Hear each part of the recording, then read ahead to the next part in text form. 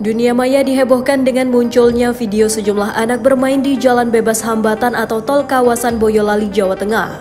Video itu diunggah oleh pemilik akun Instagram @boyolali underscore info. Hingga Jumat 8 Oktober 2021 sore, video tersebut telah disukai lebih dari 4.276 pengguna akun Instagram dan mendapatkan lebih dari 260 komentar. KBO Satlantas Polres Boyolali Ibtu Widarto mengatakan, sejumlah anak bermain di Jalan Tol Boyolali Semarang kilometer 480 jalur B Desa Mudal, Kecamatan Boyolali Kota terjadi pada Rabu 6 Oktober 2021 sekitar pukul 15 waktu Indonesia Barat. Dalam rekaman video tersebut ada empat orang anak itu nekat masuk ke jalur jalan tol untuk membuat konten di media sosial. Menurutnya anak-anak itu bukan merupakan warga sekitar lokasi jalan tol. Mereka merupakan warga luar yang memanfaatkan pagar jalan tol yang rusak untuk masuk kawasan tersebut.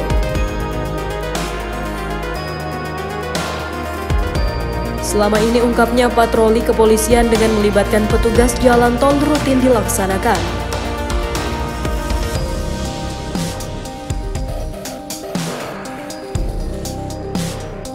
Diduga anak-anak itu memanfaatkan kesempatan saat tidak ada petugas patroli untuk membuat konten yang dapat membahayakan keselamatan mereka.